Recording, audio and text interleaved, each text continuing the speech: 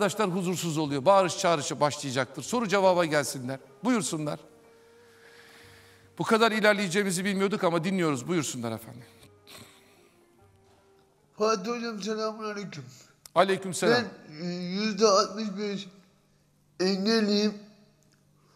Orucumu tutamıyorum. Yani günah mı?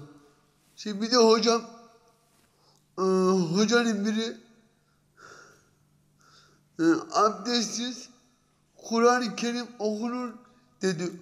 Okunur mu okunmaz mı? İşte bizim insanımız. Sen yüzde 65 engelli değilsin kardeşim.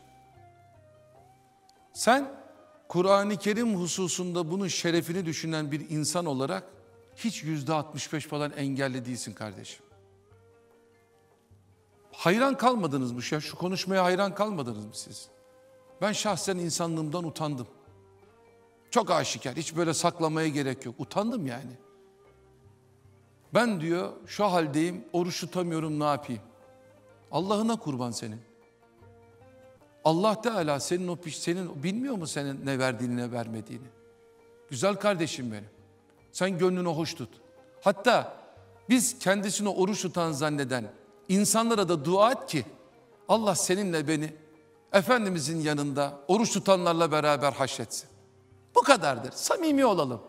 Öyle uzun uzun. E, şimdi bakılır bir insanın engeli varsa şu akılla konuşma abi. Adam onun için sormadı sana onu. Burada bir hadise var ya. Biz şu imanı tahsil edelim. Burası medrese değil ki kardeş.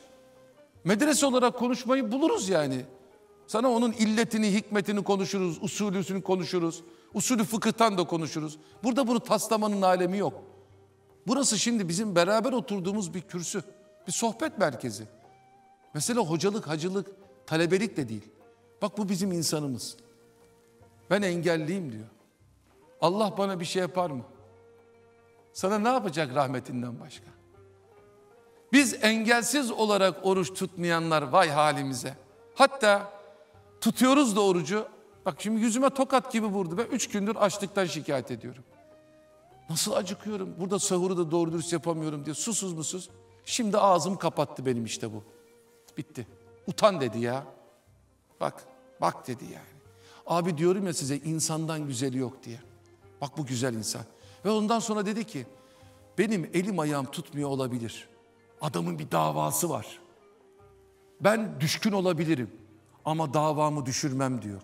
Bana söyle diyor. Abdestsiz Kur'an'a temas edilir mi? Arkadaşlar ezbere Kur'an okunur. Abdestsiz. Gusül değil tabii ki.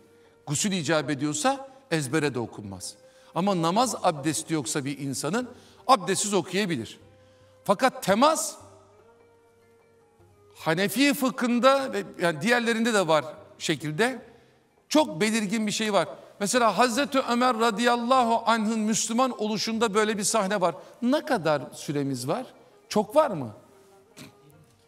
Ya o zaman ben şurada bir anlatacağım. Diğerlerini kısa cevaplandırırım. Hem muhabbet bağında işleyemedik ya onu konuşalım. Hazreti Ömer radıyallahu anh diye bir zat var. Bilmiyorsan öğren.